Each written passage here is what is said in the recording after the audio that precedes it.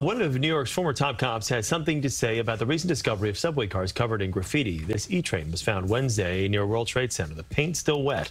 Earlier this month, an F train was also vandalized, but we've learned there have been at least five similar acts dating back to last summer. Now, this has led to a serious questions about the security of the trains and who's patrolling underground. The MTA said it's the NYPD's responsibility, but the police told us security protocols must be answered by the MTA.